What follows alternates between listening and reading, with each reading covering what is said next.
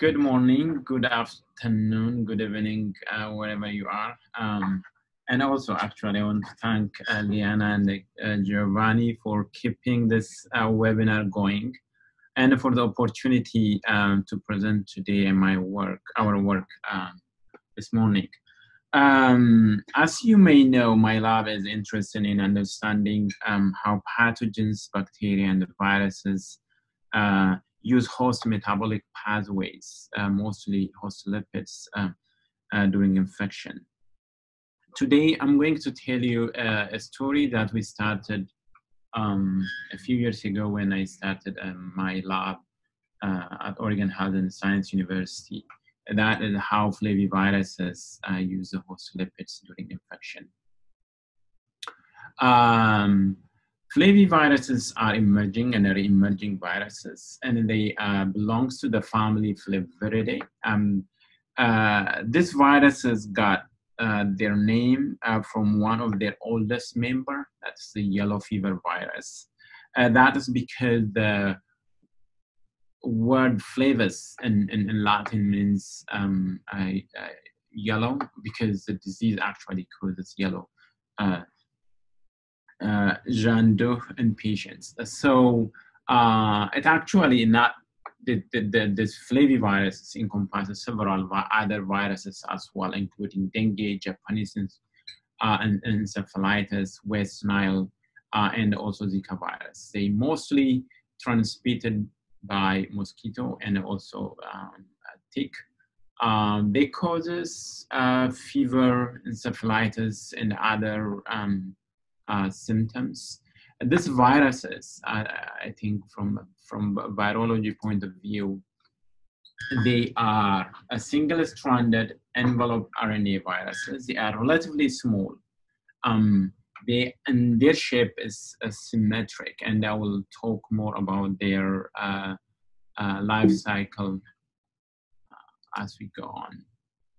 But I think um, it is really uh, um, given the current pandemic, I think it is important to give some sort of historic perspective and the significance of these uh, viruses uh, uh, and as a whole. Um, they are historically very, very important viruses, and especially that of yellow fever virus, because back in the days it causes a lot of uh, epidemics and then it killed uh, thousands and thousands of people um, I'm going to give you a few examples of those epidemics. One is the most, I think the most important one was the epidemic in Philadelphia in 1793.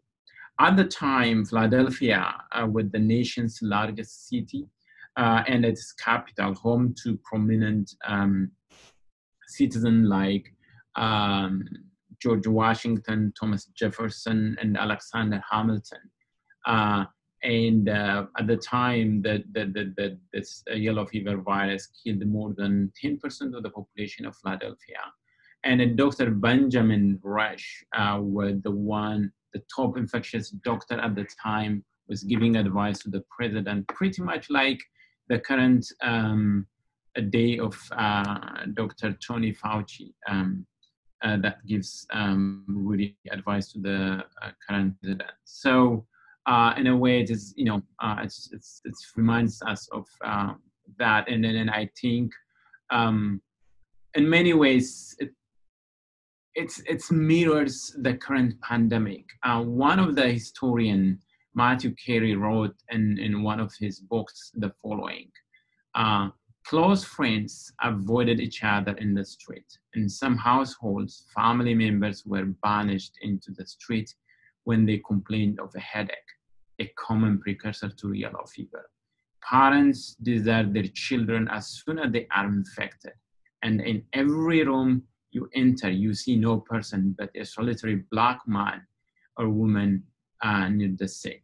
The, the, the, the irony, the, the, the saddest part is that at the time, African Americans were falsely told that they were immune to yellow fever. So but they, they, they died uh, quite a lot, just like the current uh, COVID-19 cases. Uh, and then and then after that, there was you know a lot of epidemics of that kind and the most uh, the other most prominent prominent one was the mississippi valley epidemic uh, that um, spread along the mississippi river and memphis was the most highly uh, affected but then there was huge interest and then and obviously um, uh, some key breakthroughs uh, at the time it took them a couple of hundreds actually to come up with, with really key uh, breakthroughs. The first one was uh, by uh, Carlos Finlay. This is a Cuban uh, who was doing research, mosquito research in uh, Havana, uh, who proposed at the time that yellow fever was mosquito-borne virus. But then it took around 20, 30 um, years to be really experimentally confirmed by uh, Jesse and Walter Reed. Um, and then they isolated the virus in the 20s and 30s, and the vaccine was developed by Max Still, a South African um, uh, infectious disease doctor who was working in Rockefeller at the time. And, uh, and then he got a Nobel Prize uh, for his work. Uh, that is a bit of history. Uh, and and then then then still the, the, the interesting part is this uh, viruses are actually very important uh, today. Uh, 20, 25% of the world population is at risk. Um, when you just take, you know, all flaviviruses that include Zika, yellow fever, dengue, uh, Japanese encephalitis, West Nile, all together they infect about 400 million human uh, humans uh, each year. So it is really important. And today, I'm going to tell a little bit about Zika virus and our work related to this virus. Um, it's actually, you know, even though recently in, in, in 2015, 2016, when WHO declared the outbreak, uh, public health emergency, it was actually discovered a while ago in, in, in, in the 40s. And uh, and uh, and then again re-emerged in recently a few years ago, which actually caused my took uh, you know where where at, at that time I was just starting my lab, so um, I thought this is worth doing this this study. Here is the life cycle of uh, flaviviruses in the in general.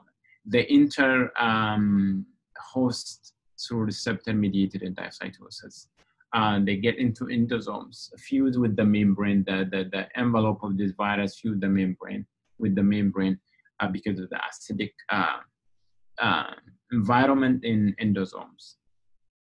Then that make them release into the, uh, the, the, their RNA into the cytosol.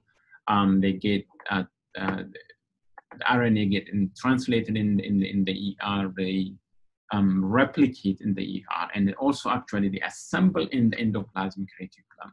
The interesting part is that in the endoplasmic reticulum, they form these replication factories that bud off from the ER and forms really the sort of vesicles. And once they are assembled, they mature through the secretory pathway, they get modified in the Golgi by different um, uh, uh, enzymes um, uh, and, and, and then they, they, they, exit. So if you just, uh, if you look at this uh, cellular um, um, processes, they are actually pretty much like the normal um, cellular processes, right? The most fascinating aspect is that the life cycle of these viruses follows normal host cellular processes for entry, replication, egress, trafficking, they basically use the host factor, the host cellular processes. So that means during their uh, long-lasting coexistence uh, with their host, uh, microbial pathogens, including these viruses, have evolved a variety of strategy um, to enter, traffic, and propagate. That is actually the really the fascinating part, I think, uh, for us. Uh, so uh, knowing this I think the different cellular processes in, in the life cycle of these viruses is very, very important to design a strategy to combat um, uh, diseases caused by these uh, viruses. So um, uh, the first set of experiment that we actually did was uh, doing um, um, um, this was just to examine what happened uh, during infection, which was it was actually very very stark. Um, so what's happening is if you infect host cells with the Zika virus, it, it enters and it forms this replication factories. Let me. Uh,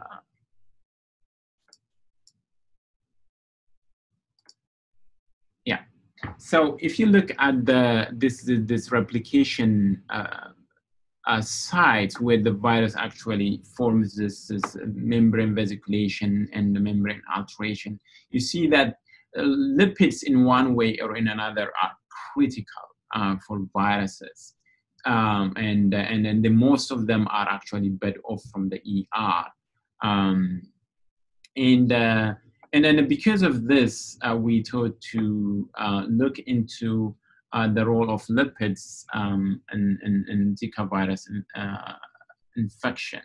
So we then looked at, we, we went to look at the, you know, from, from, from uh, unbiased point of view in, in, in, a, in a way just to look at the global uh, lipid profiling of Zika virus infected um, human cells. So we infected the cells uh, and we waited, you know, different time point. We had vested. We basically performed uh, global uh, lipid profiling um, and uh, examined the changes that are occurred in infected as compared to uh, uninfected cells. What we find is uh, this is the PECA of that data. And then and as you can see, there is a very clear uh, segregation of infected versus uninfected cells showing um, uh, this virus altered the host lipids uh, during infection. Um, to look at and the you know the different lipid species that are changed uh, in, in, in virus infected cells, uh, we we this is just to show the um, uh, um, the change that occurred on these lipids. This is uh, the, the, the, different uh, lipid species are color coded, and this is the log uh, fold chain. And um, as you can see, it's basically uh, the, the, infected cells causes global lipid change. It's not really specific there. Some some some lipids are upregulated, um, some are um, uh, significantly reduced which is not in a way um, not surprising because uh, some of, especially this neutral lipid, glycerolipids, have been reported to be important for um, virus replication, for autophagy and lipophagy, which is energy source for uh, uh, for replication and forming those uh, vesicles. Um, and, and then we then formed really uh, uh, this correlation map um, just to show that um, what the relationship between the, uh, the different lipids in infected and uninfected cells. Then actually we start to see very, very interesting aspect, uh, which is that is mostly uh, around uh, sphingolipids. Sphingolipids seems to change uh, in, in, in, a very different way as compared to the other. For example, the other lipids are most of them are upregulated or downregulated. But sphingolipid seems to have um, a distinct way of change within within within a sphingolipid. That actually attracts us our attention, and and um, and uh, and uh, we decided to follow up that observation. What I meant by that is that, for example, within if you look at the ceramide species, some species of ceramides are upregulated as compared to down uh, the other the other lipids, especially um, short chain uh, um, uh, ceramide seems to um, uh, enrich as compared to uh, long chain ceramide. Um, so that is that is uh, what is depicted here. For example, the the ceramide 18, 16 acyl chain um, are more enriched as compared to the long chain um, um, ceramide. So the question was why the sphingolipids have a role in um, Zika virus infection. Just to test this this this questions, what uh, we did was we tested, we treated um, Q7 cells uh, with uh, uh, myriocin and FEV1. Um, I don't think I need to describe the single lipid pathway for this crowd. But anyway, um, myriocin blocks serum palmitate transferase and uh, fumonisin B1 block ceramide synthase. So basically it means that, that uh, uh, for example, myriocin block the whole de novo pathway.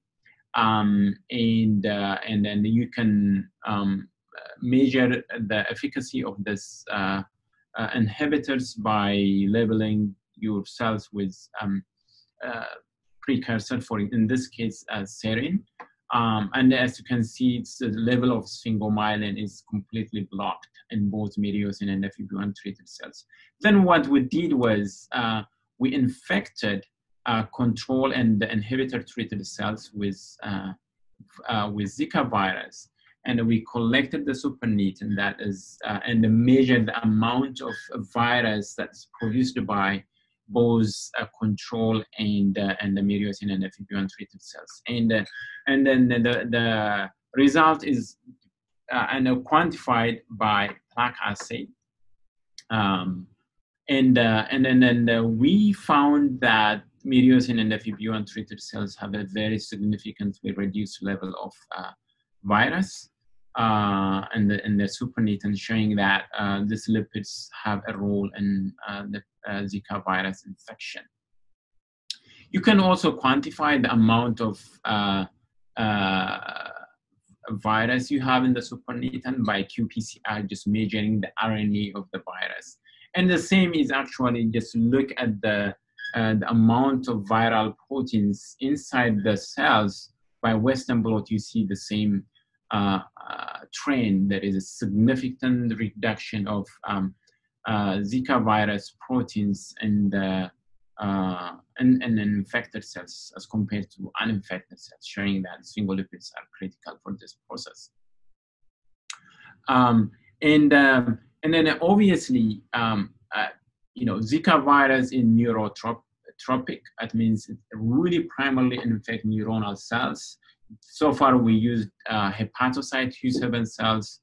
Uh, and to test uh, if this observation is also true in neuronal cells, what we used is we used stem cells derived uh, neuronal progenitor cells as a proxy for primary cells. Um, and what we did is, again, we treated the cells with myriocin and FEV1 uh, and infected with the virus. This, this uh, neuronal uh, progenitor cells are extremely permissive to the virus. They are very, very sensitive. But as soon as you treat them with myriocin or FB1, they become resistant. They don't really get infected at all. Or if they get, just, just, just a tiny bit. So, so um, this is also the same in a neuronal uh, blast, a neuroblastoma cell lines, uh, confirming that these cells, these lipids are important in, in relevant cell lines as well. So the next question was which step of Zika, uh, which step uh, of the life cycle this, this lipids are important? Is that the entry at the very, very initial step uh, or replication uh, or uh, uh, maturation and release? Um, uh, of, of uh, the virus, just because we just don't have time to go through all sorts of tests that we did. Basically, we we followed the virus life cycle and we measured the, the, the, the entry, replication, and the maturation of the cells. What, what we found, what we found with that, that is uh, the, whether there is a sphingolipids or not, the entry is not affected what is really significantly affected is that the replication. Once the virus is inside the cells, uh, the replication is dependent uh, on, uh, uh on on on a sphingo and, and the presence of single sphingolipids. So this is we measured the viral um, RNA, the replication of the RNA, the virus RNA at different time points post-infection because once it is entered, actually the replication you get a me- measurable amount of RNA within four hours post-infection. If you just measure that, you you get a really a significantly reduced amount of um, uh, virus as compared to the control, showing that single lipids block ZIGV replication. Then the, the, the next question was which you know species that ceramide? Is that um, uh, sphingosine 1-phosphate, sphinganine, or, or sphingomyelin, or high-risk uh, glycosphingolipids that are important. For that, um, we happen to have a sphingomyelin synthase knockout cell line in the lab. So the first thing was uh, just to test to see if those knockout cell lines were um, uh, sensitive or resistant to uh, the, the, the, virus. To our surprise, the knockout cells are, I have never seen a cell line that is sensitive to the virus. They start to get extremely, extremely sensitive to the virus. They start to pump out basically virus like crazy. So after repeating probably, I don't know, 10 times because it was just, uh, we, we, we somehow thought uh, uh, it is artifact. But and, and and the interesting part is if you put back the the the the, the enzyme, it become um, uh, restrictive to the virus, showing that elevated ceramide levels might involve um, enhance the replication. Okay, um, and then and just to complement the, our um, this and this, this this observation, what we did was then we uh, used another way of enriching the level of ceramide in the cells. That is by using sphingomyelinase inhibitor that um, uh, block the degradation of sphingomyelin. If you use, if you treat the cells with sphingomyelinase inhibitor, they become resistant. Uh, and if you exogenously add bacterial sphingomyelinase into the media, for example, they are again become more sensitive to the to the virus. This is uh, non-structural for the, the uh, we label the cells with um, uh, Zika virus non-structural proteins. And then also obviously we quantified the RNA the, and also performed the plaque assay showing that it is, the same.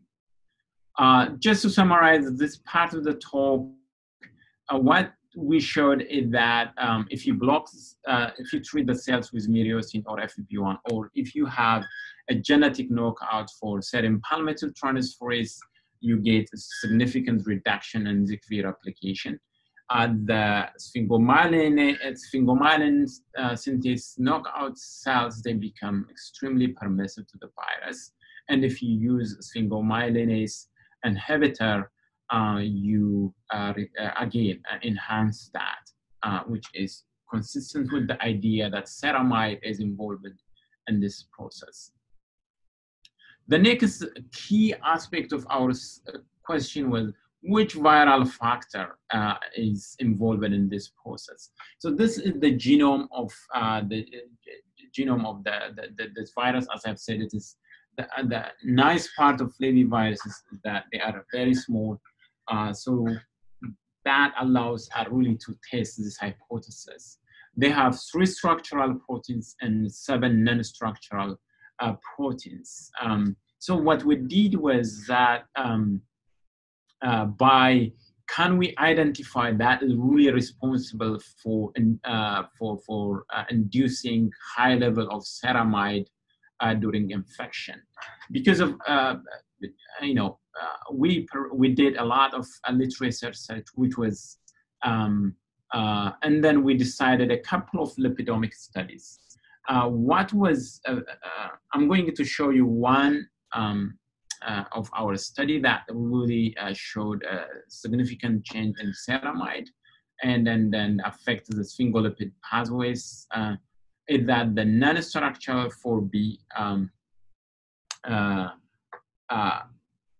with the one that really um, uh, uh, showed that. So what we did is, again, um, we transfected uh, cells with this uh, individual uh, protein, and we performed global lipidomics and compared that with the virus infection. And this is the uh, lipid profiling. It is really, it's pretty much the, the it, it the an infection. Um, and it, I mean, there is a slight difference. For example, um, cardiolipins are increased in this one, but in, in, in, in, in Zika virus infected cells, they are not. Uh, but, but, but I think just to make things easier, what we did is we compared the lipid changes that are significantly affected by um, uh, NS4B and the Zika virus. The most significant one in this processes are actually those of ceramides, which show that um, NS4B uh, is responsible for, at least uh, partly responsible for changing lipids during infection. And, and then the next question was, what is really the mechanism? Uh, uh, how exactly this NS4B uh, or Zika virus alters the, the, the, the, the sphingolipid pathway for that, we, we really performed a very careful analysis of um, uh, uh, just, just to look at the localization of um, the replication factory of the virus versus sphingolipids. This is just to show you that we, uh, this is um, high resolution microscopy of virus, Zika virus infected cells that were stained for ceramide and a non-structural 4B uh, protein that we know that it localizes at the replication uh, sites. So uh, these two uh, molecules actually co-localize nicely, as you can see on the uh, on the on, on, on this image, uh, indicating that ceramide um, redistribute. Uh, usually, the, the, the, the, interesting part is if you just do normal staining on uninfected cells, you actually don't see this kind of. And then this is just to show that um, ceramide is important uh, for for uh, infection. Okay, uh, and and and then then it's redistribute and accumulate in the replication site. And um, this is just a summary uh, slide showing that ceramide is important for replication uh, of uh, a Zika virus infection.